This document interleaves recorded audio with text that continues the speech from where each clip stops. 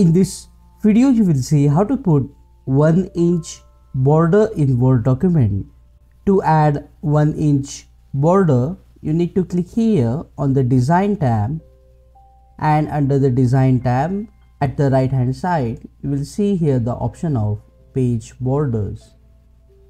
Click on this page borders option to open this borders and shading dialog box and then click on page borders tab. Under the settings instead of none you need to select here the option box and select the style of the border solid dash or dotted.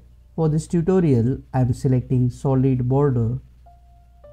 You can see the preview here and select the color black or any other color of your choice.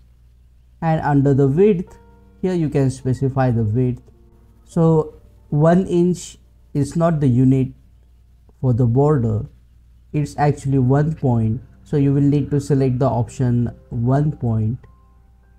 And next to apply to you need to select you want to apply these settings to the whole document.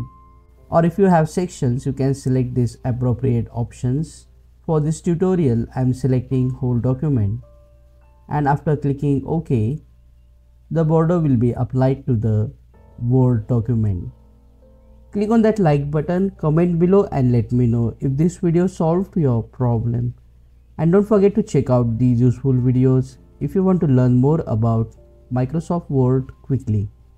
Subscribe and press the bell notification icon to support the channel.